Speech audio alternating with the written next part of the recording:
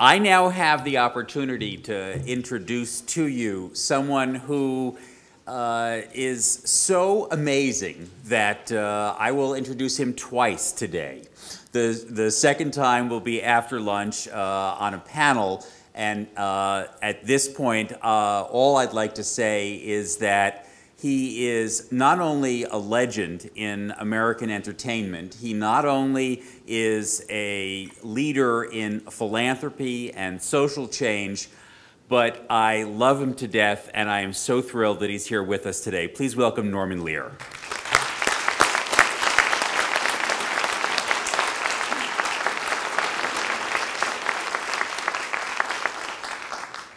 Thank you, Marty. I, I never hear um, myself lauded that way uh, without uh, thinking of being reminded of my mother.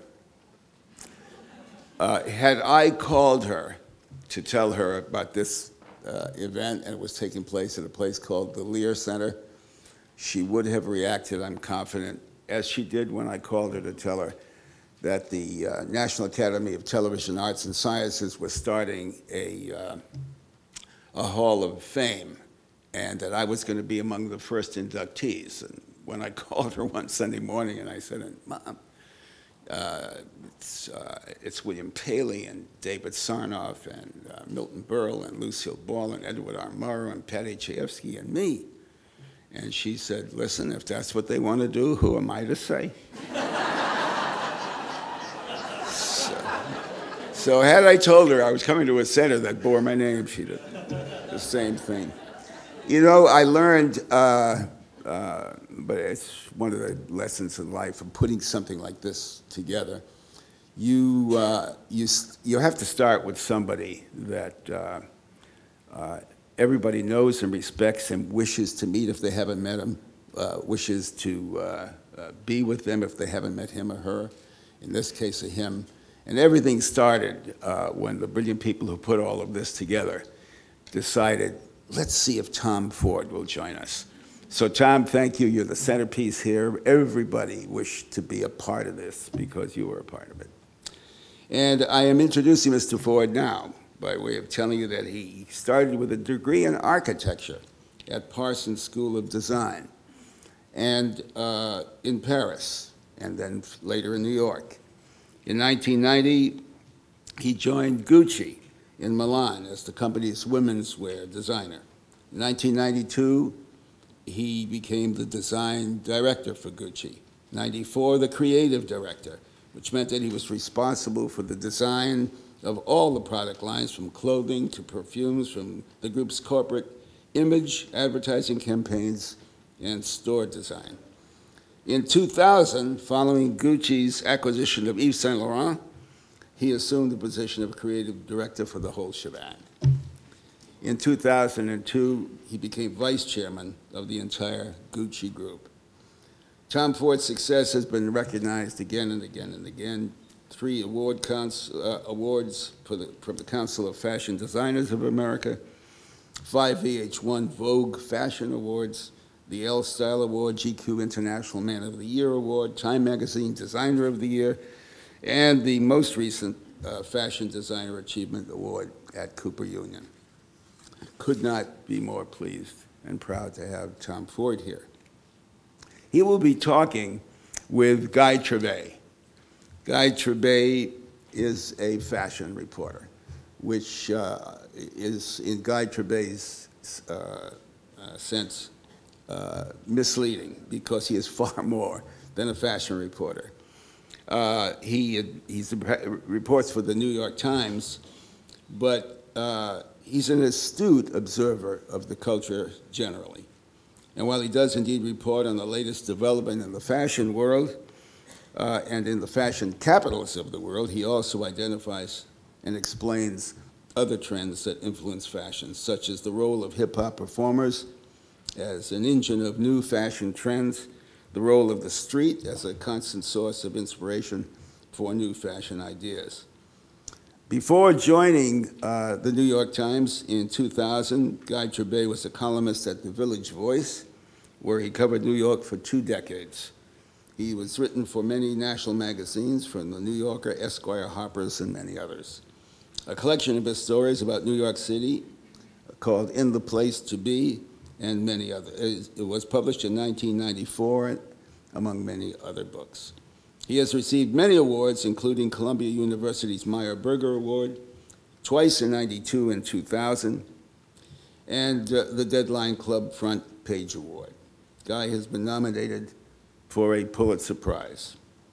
Uh, moderating these two amazing gentlemen is Laurie Racine, who is the center of uh, everything that has occurred here to bring us all together.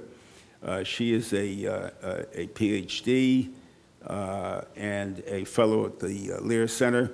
So please, won't you step up on the stage, Laurie Racine, Guy Trebay, and Tom Ford.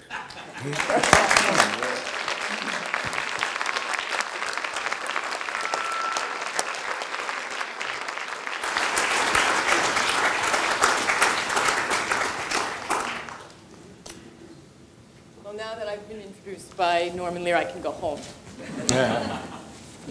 Um, It is with great pleasure that we are joined today by Guy Trebay and um, uh, Tom Ford. And I must say that I consider both of them culturalists in the highest regard, given their individual fields of endeavor, but with a, an eye and a, an understanding of the world at large that few of us have. It's, it, I think their appreciation of fashion and fashion's relationship to our larger cultural dynamic will be incredible. So um, what we're about to do here today is to delve into kind of uncharted territory where, as David alluded to, we're going to use fashion as a, a stepping stone to explore different aspects of creativity, imitation, originality, homage and inspiration. And we want to talk about fashion with a little f. Not the magnificent creations that Tom has given the world, nor the um, wonderful, insightful observations and dissections of those collections and others that Guy has uh, weaved into splendid prose. Rather, we're, we want to give this discussion a larger framing. What we're looking to do is to look at a whole spectrum of themes that have come from fashion. We were looking at the art, the craft, the business, the lifestyle, the marketing, and the standards of practice in fashion uh, that are many times based in law or actually not in law. Hopefully what I'm going to do here is very, very little. I want to play the role of kind of the wacky therapist, you know, throw something out there and say, okay, go at it, boys, you know. So um, that, that's, if, if, I'm successful, that will, will happen. Hopefully these gentlemen have very strong feelings about what we're going to talk about. And if they don't, I'm sure they're going to make it up magnificently. You'll never we'll be able to tell. so uh, one of the things I'm interested in starting with is this idea of creativity and something um, that was alluded to about what is originality in its relationship to creativity in, in fashion. If fashion is in fact derivative at its core, then is it actually an original art form? David, I loved your, your presentation. Uh, there is a Coco Chanel quote that you did not use, which I love, and uh, it is that creativity is the art of concealing your source, I think is, is, is amazing. But anyway, to get back to what uh, your question was, I don't know if Guy, do you want to take that first or? Yeah, I mean, I, I kind of want to raise you one on the, on the Chanel because there's a Picasso that says the mediocre artists borrow and great artists steal, and I think that's that kind of is what interests me about the way that fashion works right now. That it's uh, that appropriation is so normalized inside of fashion, and I, it, it, may be, it, may, it may have been quite different for you in, in no, I mean, I, I, you know, I think that it's been a trend. I mean, I think appropriation's always been a trend. I mean, David, you didn't go all the way back to, you know, Madame Recamier and, and empire dresses, and that have been, been you know, uh, inspired by the Greeks. And I mean, it's something that's been with us for a long time. And, but for the last 10 years in particular, I think as, as media and, and images and, and, you know, the internet and everything has sped up uh, everything that, that comes at us and, and assaults us visually, uh, appropriation and sampling in every field has become uh, rampant. I mean, in architecture, in art, in, in, in music, obviously, and also in fashion.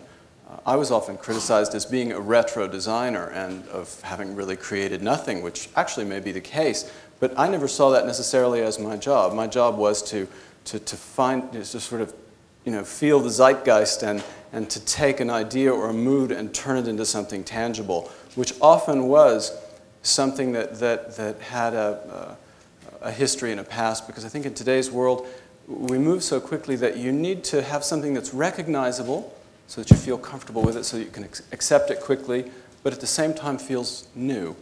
So I always tried to put a new spin on things. I don't think that the 70s look of the 90s will really look like the 70s, which, by the way, was inspired by the 30s.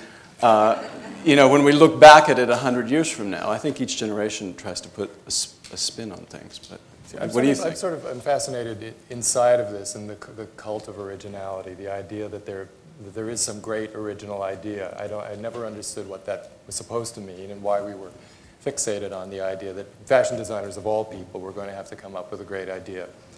And uh, what, what's been very pleasing to me in the past few years covering fashion is to watch the kind of, I think, necessary and really useful collapse of that into a, into a, much more broadly dispersed way of looking at you know, cultural influences and, and the uses of them. And the, in a way, what David was, was referencing about, you know, I, forgive me if I don't remember the exact the turn of phrase you used, but the simplicity toward which we're moving, I think that that may be a, you know, a, a release from this, these monumentalized ideas, you know, the, the cult of monumentalizing or, or ideas like originality.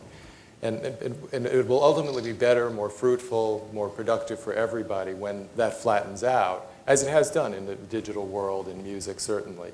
And everybody's pulling from all the different areas. And, and perhaps is not so uh, obsessed with a Chanel career or a Lagerfeld career or it, that, that whole shape of, of uh, creative identity. Don't you think that simplicity might have to be monumentalized, however, in terms, uh, I mean, in terms, you know, to, to, to, in order to be able to capitalize on it, to sell it, to, to, to, to have it reach yeah, out? It, absolutely. I mean, but, I, but I such think a symptom of today is we have the need to, so. icon, you know, to, everything has to be an icon. And, I, I, think that's so, but also the opposite is so. I have the idea that this, uh, the, the, the, the, way that the market, it seems to me, from, you know, what, from my vantage, is moving is that there, rather than there being only the sort of, you know, mega brands, which I think people always like to want to say are on their way out, there will, of course, be those. But then there'll also be this, this you know, sort of virally replicated yeah. Microcultures right. that are really, really thriving and that they're not incompatible ideas. No. How that plays out in the market and, and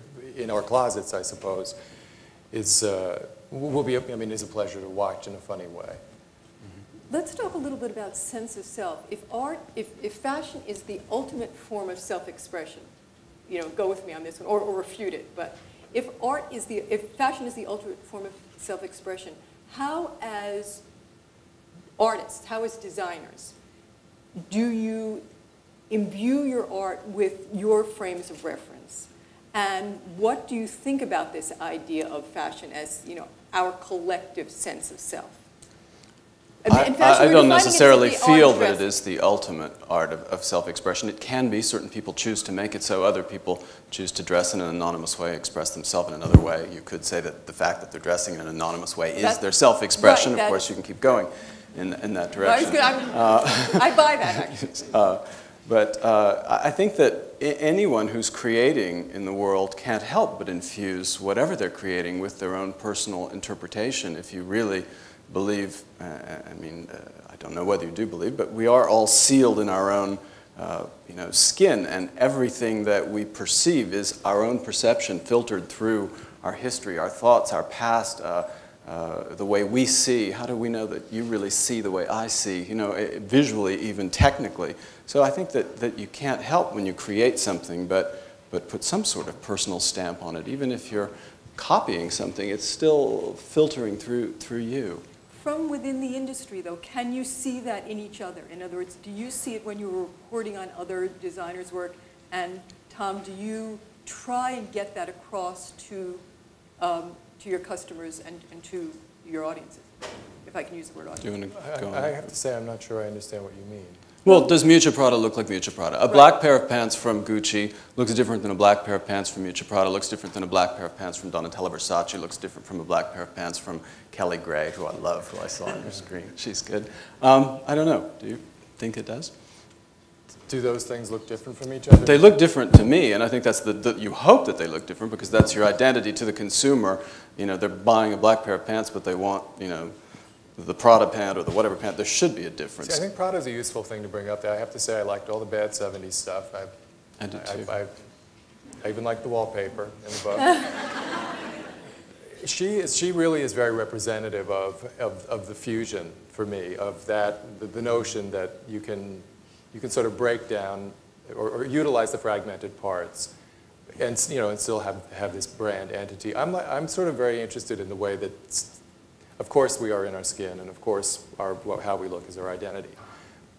But I think that this, the, the sort of capital S self, as it's represented in fashion, is becoming much less interesting to everybody. There was a period in, in the post-logomania days, in, uh, I, I, I, you could say the hip hop community, I think it's probably not a very descriptive term. But when, it, when, the, when everything became generic, like the, the, the thing that you'd want to do was to have nothing that had any logo, and a, a shirt that looked like nothing. It was, you were as anonymous as you could possibly be. And I think that you know, that is a kind of an augury of, uh, of a relaxation of this need to be identified, particularly in a brand way.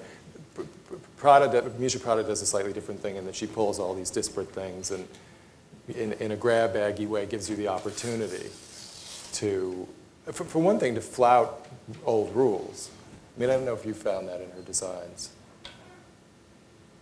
Well, I find what she does, uh, well, I love Miuccia Prada and I love Prada, but of course, again, for me, I look at the sort of broader marketing aspects of it, and Prada is the intellectual brand. Prada is the art brand.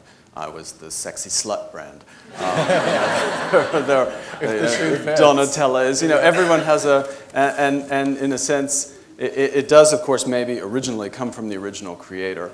Uh, you know, Chanel, by the way, is not just a brand. It was really a person. Her personality was what made the brand what it was, what gave it a, a sort of difference, and Karl plays on that now and has fused his own personality to it. But uh, I, I think that those things are, are, you know, part of their function in today's world, and part of the reason for the success of those brands is that brands that do are able to capture a certain look and image and become identifiable are the ones that do tend to, to, to develop. But let me say that she's doing, what- what's interesting to me in terms of what Prada is doing, and I don't know how this exactly bears on intellectual property, is within the idea of this mega corporation with a, with a very fixed identity, she, she is uh, adapting to something that's happening anyway in the marketplace, which is limited editions and doing sort of, a, a- creating microcultures within her macro culture. And, uh, and that, I think, is, is affiliated with the idea that, you know, it's affiliated with everything that's happening in the digital world, basically, where, you know, it's, it's about sort of insider knowledge. It's not about having things billboarded with the 3,000 messages a day. It's really about following sinuous uh, uh, paths of information, which is, I think, the way that people, perhaps- I'm, I'm talking in an, ap, in an inapposite way to the point, but I really do feel as if th- th- this, this is the way that fashion is moving. Does it make any sense at all now? Yes. We're going to get, to- we're, we're going to, we're going to follow that back. I just want to just jump back one more step and go back Yes. to this idea of inspiration. And that's one of the things that we all have- keep Mm-hmm. referring to when we talk about fashion. From where, Appropriation is incredibly important in the fashion industry. You couldn't design, you know, I mean, none of us invented a sleeve. We have two arms, you need two sleeves. You know, there's a, uh, appropriation is incredibly important.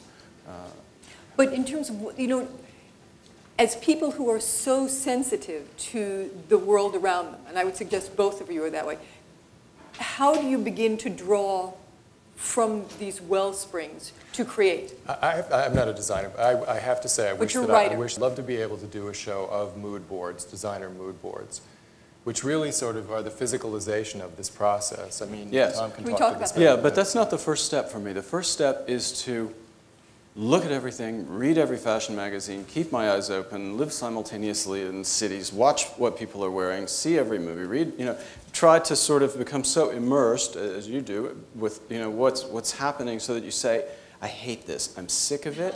I'm bored. I don't ever want to see Paris Hilton. Uh, not really. I like Paris Hilton actually, but I don't ever want to see this again. And then you have to trust yourself as a designer to say, well, what do I want to see? And this is where there's a certain amount of intuition, I think, that comes into play with also a rational, cerebral uh, sort of uh, approach. At least this is the way I work. Then I think, well, okay, I hate yellow. I don't ever want to see yellow again. What do I want to see? What looks fresh? And then I try to sort of, purple, purple. Purple looks so fresh. I haven't seen purple. This is a silly simplification of, Yeah. of the process. But then I go to the mood board. Once I decide it's purple, then I you know, go into every book, every purple, purple ribbon, purple this, purple uh-huh. silk, purple satin. You know, who wore purple? You stick, you know, and then you do start to sort of form and shape. But I don't Can you know. define mood boards for us a little Oh, bit more mood board, I'm sorry. And I don't know that everyone necessarily works this way. I mean, my mood board is often in my head and not necessarily, uh, you know, actually stuck to a wall. But a lot of designers do work this way. They're boards that you put up in your studio if you're working with, you know, two assistants, ten assistants, whatever. Uh, often you will put together, you have a meeting, everyone talks, purple, okay? Everyone brings in their purples, you da da da. You put it all up on a wall so that you know that everyone in the studio is thinking the same way because you can talk about visual, visual things, but nothing really, you know, says it like the actual thing. So you put these things up on a wall, and as you're designing the collection, you often look to it, you think about it, hmm, what would she wear? Where would she go? How would she be? What can we do with that? What's a different way of showing purple? And, and you use this as a tool while you're working and developing to, to sort of, and you know, by the way, fashion changes so quickly that by the time sometimes you get to the time that it's ready, you're ready to show a collection, you may be so sick of purple, and it may have moved, the moment may be gone, and you may throw it all out, and, and you know, a week before decide it's all about blue. But, uh, What I have to ask you about, though, and what interests me a lot, is how does everybody get onto purple at the same time? Because there That's is no, David, well, because the how. clues, because this is, an, I'm often asked this question, and I, I think the clues to where we're going to be next year are here now. And to all good sleuths who have, and, and Well- people with a certain amount of intuition, they will tend to find the same thing. Because we're not, you know, in order for a design to be successful, it has to be appealing to the mass population. So if it's only appealing to one person, you're never going to sell very much. So the fact that Miuccia Prada and you know Donatella, me, blah blah blah, you know, would all come up with the same ideas that this is what we do. At, at the level of color and more subtle details of, of design, it really interests me. At the level that you were, that David was alluding to uh, w- with movies, it's it's billboard plain. I mean, I've seen, Yeah. you know, you you in, in New York at this point, you can sort of you can you can time the movie opening to the next collection. Coquette's movie, everybody's going to John Galliano Coquette's. It's going to be glitter and glam, and then everybody pretends that they never saw the movie. So, but, I, but in these other sort of subtler ways, I'm very interested in how that, how that information. You also have to remember that everyone's assistant is sleeping with everyone else's assistant, and that this is really the reality, and that you're all getting your fabric from the same sort of big five fabric mills who are coming and saying, and they'll say to you very quietly, Miuccia, Miuccia loves this way.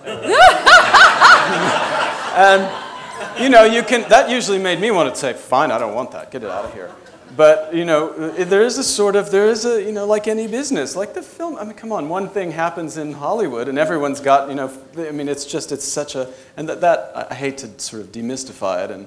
No, no, this is what you're here for. But that is a real aspect of it as well. Well, you know, we, we talk about um, this, the importance of the street, and we talk about the importance of film and music, and I think what Tom's saying is it's just, it's, it's just chaos theory at work? It's just what? Chaos theory at work, perhaps? Well, I don't think it's chaos, but I think there are a lot of different factors Can we affecting. Can we differentiate now, you know, this talk about the street or music and film and its influence on fashion, or is it all so meshed together that it is, a, it is just an amalgamation of, of a whole variety That, of that's why I wish that one had. I mean, I regret that I do not have a, a picture of mood boards, which of course lots of designers do not use. But to see these, all the, all the disparate visual images and the way that they sort of meld, really is, is, a, it's, it's, a, it's to me quite a fascinating thing and very reflective of the way that this stuff works. You couldn't say it's only this or it's only No. the street or it's only the sales guy with the, you know, with a case full of purple fabric. No, it's all of that. It is all of it. Well, I Don't you think, think? I certainly Yeah. do Yeah. think so. And I also I have seen designers, uh, Marc Jacobs is a good example, and certainly king of appropriation by reputation and in truth. And, but I, I've seen his process, and when he works with Venetia Scott, who's his sort of you know, aide de camp, they, they will take the stuff, and it's very daunting, I have to say, when you, s- I, I never understood how just physically, never mind mentally and emotionally, you could, anyone could deal with, like the people who came in with the giant boxes of fabrics to look at and choose from among. But they would take these things and then tweak them in these very, very interesting ways. So they would have made all their choices, Marc and Venetia, let's say, and then sort of say, well, those, they would say, no, but we don't, we, we love this pattern, but we don't like, we hate yellow. We, we don't ever want to see yellow again, and then sort of blow it up and change the scale according to whatever else was going on in the culture at that moment, it seems to me. Well, so, so let's try and move from there into issues surrounding intellectual property in fashion. So here you have now created th- this series of works, and whether you've created them, you know, in, in collaboration subtly or, or, or, you know, or very um, functionally, you have now produced, you know, bodies work and you, and you have seen bodies work. And then when you see other people exploring those kind of, um, or ex- exploring very specifically those collections in their own work, whether it shows up in, you know, the retail market, whether it shows up in, you know, the chain stores, et cetera, et cetera. Does that, do you consider that an homage of sorts? Does it bother you? Homage is a funny word, not necessarily applicable there, but homage, I only ever used that word when I was so inspired by something and I would try to sort of interpret it, but you know what, it just never looked as good as the original way, and it was the right time for that, so I would put it back out and say, this is an homage. It's a way to sort of get around, if you call it an homage and you call, you know, then anyway, but back, back to what you were. There's, th- th- this is a bit of a segue, but there is a great story about Miuccia Prada. There's a store in Paris called Didier Ludot, and this guy runs Yeah, a. It's, it's a vintage store. It's probably the, certainly the costliest vintage store, and it's kind of this Yeah. amazing crypt of old clothes. And Miuccia Prada went into the store with a friend, uh, Manuela Pavesi. uh, who is, anyway, her, works with her very intimately, found a, a, a coat by Cristobal Balenciaga, and Manuela is a maniacal shopper. She's shopping, shopping, shopping. M- Miuccia is turning this coat inside out and this upside down, and, and, uh, and ultimately, of course, does buy the coat, and then the next season the coat appears exactly as it, it came out of the shop. The very coat came out in her, in her thing, and that, in a way, is the beauty of, of, Pra- of Prada, of Miuccia Prada, and also of homage, I guess. Yeah. You can just Well, and also the fact that there is no copyright in fashion, right? So that is, so in garment design, and so what's perfect here for a Well, I- segue for us is Yeah, that. I, I agreed with your Chanel uh, quote. I agree with Coco Chanel. I mean, for me, the, the, the moment I'd finished it, you know, I, nothing made me happier than seeing copies uh, of, of what I had done because that meant you did the right thing. I, I'm very fascinated to hear you say that in the sense that you as you, yes, but you as Gucci. And because I, I actually come down sort of in a, in a different place vis-a-vis the, the counterfeiting, and I don't know that, that it's a moral evil. There's But we also a, a difference in the, you know, for us, because we, we of course, you know, uh, Gucci, or I'm not there any longer, but we have had this, or Gucci had this problem for quite a long time. But there is a difference, and, and that is the quality. And we found after much research that actually, not much research, quite simple research, that our, the counterfeit customer was not our customer, that it, it did diminish our customer's uh, desire to buy a particular bag if she saw copies of it everywhere because it was, it was more available. But they are two different things, and the quality of, which is interesting, we were talking briefly earlier Yeah. about how this uh, fashion may be quite different from film because, or, or, or the entertainment industry because we're talking about a tangible thing versus an image of something. And uh, you know, in fashion, you know, a good steak and a bad steak are two very different things, and a cashmere bag and a wool bag, even though they might look the same, are still very different things. Yet in image, I, I don't know whether I. I think there's still ideas in both of those things, and what I love about the whole counterfeit thing is that it's a commentary on the, on the, on the so-called original. And I mean, and that is very free. That, that is something that I, I greatly admire, to see the way that the street can take a thing. And I mean, I, I don't know if it's, if it's made, as they now claim, by child laborers, and so one wouldn't want to go down that road, but you know, I, I love that there is that freedom, and clearly people, I, I wouldn't say that this is necessarily in every case clear, but I think that quite often there is, there is a commentary being made on, let's say, logomania mm-hmm. in, in one's decision to buy the $5 bag and not the $1,800 bag, mm-hmm. anyone's. Well, isn't it true, though, that, you know, the person who's going to buy the $200 bag would never been, be able to afford to buy the $1,800 bag. And so can that therefore be considered some kind of compliment to the original designer? Because, you know, obviously you're, it's coming in at a I different... I don't know that that's always in every case true, because I think that a lot of people will, will have made the sacrifice to have the more costly bag, but I really do think they could, I have seen, and I've talked to and interviewed people who just decided it was funnier, it was wittier. When, when people started using, uh, pe- people started buying counterfeit Gucci logo, so that sort of vinylized cloth, and, and applying it to the toe caps of Timberland boots. Uh, you know, I'm, it's, that's a good thing. Well, if, That's a great quote. Can we?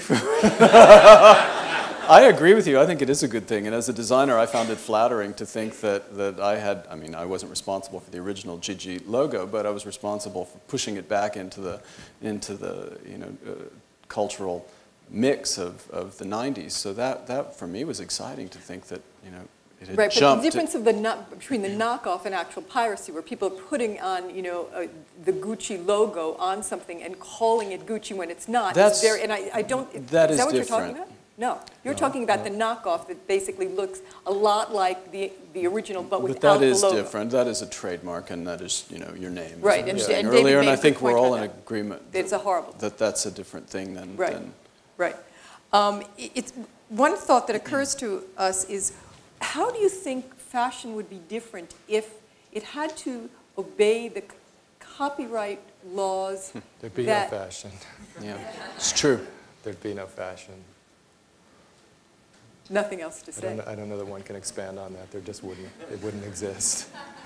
Well, if you could imagine, and, and again, as culturalists, if, you know, if you could imagine that there would be a different way to look at film and music, because as David Bollier said, the internet works rather differently. The internet is this kind of wild west like fashion where more often than not, anything goes. Um, within, within certain um, social realms. There's, there are levels of social, let's call it decorum. There are social rules that exist, and everybody tends to follow those rules. And that seems to be true in fashion, generally speaking. But in music and film, they're much more rigid uh, in the way we agree what is acceptable behavior and what is not acceptable But for how long? And I think that probably the as technology Yeah. advances and you can really go into television shows and break them up and use, you know, make your own little television show that you want to do with just some characters and not, not others, you'll begin to see some of the stuff that is already obviously clearly happening in, in the music business and to a large extent in fashion. One of the things, Jennifer Jenkins, who is here, who wrote an IP paper for us, Jennifer Jenkins is a uh, law scholar from Duke, she's back there.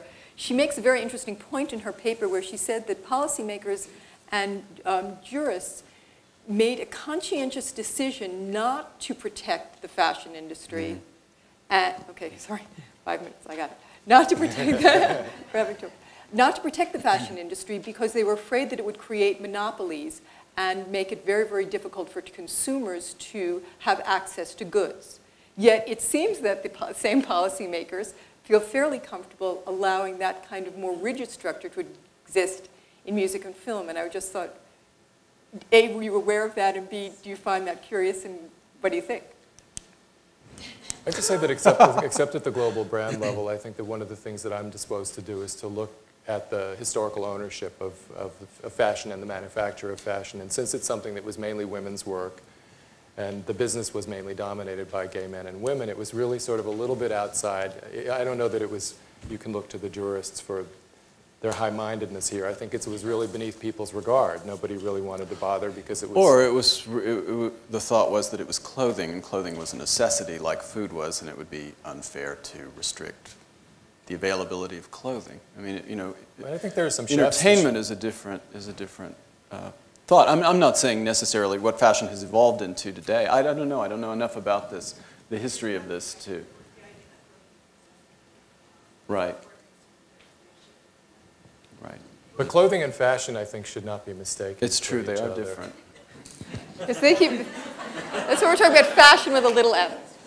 Um, I, uh, Katie is, is, okay, one more, I just have one more quick question that I just want to throw out. Um, can we talk a little bit about copyright restrictions in other countries and how the fashion industry works globally as compared to the United States. Do you guys have any comment that you'd like to share with us about that? Uh, Do you find a difference between No, not prior art? necessarily. I have to say, off the top of my head, I can't recall an instance where we would have had a copyright problem in one country and not in another. Uh, however, in France, and it's very interesting what you brought up about uh, le smoking, uh, having worked uh, uh, at Yves Saint Laurent for a long time and lived in Paris for a long time, uh, the French do have a very funny uh, regard for Saint Laurent. I mean, he really is, is God, and uh, uh, th- th- there is maybe a slightly different um, idea of There's uh, tiny- proprietary rights in, in France. Even with the paparazzi, I believe that the, someone has to take three pictures of you or four pictures of you in order to be able to use one, which means that you consented to Tom, standing. you would know this. But, but no, I, I remember it from, from Princess Diana and, and all of that sort of coming up. There are tighter rules, I believe, in France about paparazzi photography than there are other ways, which sort of relates back to this, this idea of proprietary rights, I believe. I want to get, um, and is cueing me, we need to give the audience an opportunity to chime in here. I'm sure there are many questions uh, that people would like to ask. So is there, there's a roving mic, I believe? Would people like to raise your hand? Booth? Would you like to identify yourself when you, we know Booth. I'm Booth Moore from the LA Times. I'm curious, Tom, sort of from uh, an intellectual property standpoint, is there any time when you take a lot of influences from different places, I don't know, you know, from celebrities from the past or other designers, and you feel the need that you have to, or you felt the need that you had to rein yourself in before you put it out there for fear that maybe someone was going to say, oh, that's so derivative or Not- whatever? Not fear, because I, I, um, I think it's a matter of, uh, uh, I don't know what the word would be. I mean, I, I, I wouldn't really feel good about copying something completely literally. You know, I, I think I, I want to always try to challenge myself to reinterpret it or to alter it uh, in a way that does make it somewhat fresh. And as I said, if I did feel the need to interpret it fairly literally, I would, my conscience would, I would conscience, I would have to say this is an homage. Which again, th- there's a different skill to being a fashion designer, which has nothing to do with originality. It has to do with knowing that you know there's a right time for the right thing, and there's a wrong time for the same thing. Uh, what's right today may not be right in five years, and there's a skill to know to say, you know what, this thing that someone else did here is exactly right for now and can excite people just as much. So if you're doing something that literally, I think you have to say it is an homage, but yet I still have the, the you know, I still believe that this is the right time for that homage. Can you give an example of maybe something that you, you know, like a bamboo shoe or a bamboo handle bag, where, you know, what the process was of thinking about where it came from and where you wanted to take it? Bamboo shoe and bamboo bag, no. Uh, but I, I did one time on a runway in about 1997 literally put Yves Saint Laurent's little chubby fox coats from, uh, you know, uh, from his 1973 30s collection on the runway. And I did openly say, you know, this is very Saint Laurent. Which collection, by the way, bombed when Saint Laurent did it? Yes, of course it Huge did. bomb. It did. It did. Often, sometimes when you make a major sea change like that in, in, in fashion, it will bomb because it takes sometimes our eye, the consumer's eye, a, a, a bit to catch up. I'm sorry, go ahead. Hi, I'm Barbara Kramer from Designers and Agents, and so I work with a lot of emerging designers. And in the scope of pirating fashion, um, you know, at the level that you're at, it's it's one thing to take from, like, say, Miuccia going into a vintage store in Paris and taking this little coat, and the designer, I'm assuming, is dead, no longer around to, you know, comment on it. Um, but I work with a lot of smaller designers, and when, um, as I've seen happen, bigger designers will find a design from someone who's, um, you know, not so famous, and take that design and then include it in their collection.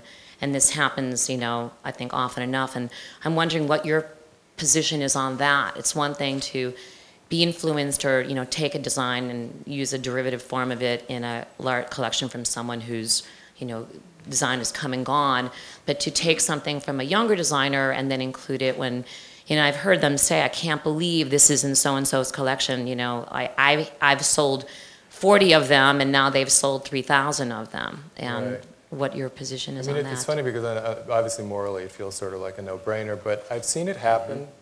And there's a, for example, a design collective in New York called As Four, And they had, they did a, a circular bag that was very distinctive. And they had a, an unbelievably daffy uh, design manifesto behind everything that they did. and They're this great. bag was I love part of them. it. They're great. And their bag really, a, a, a, a much more famous designer, more or less, copied the bag and made a lot of money off the bag.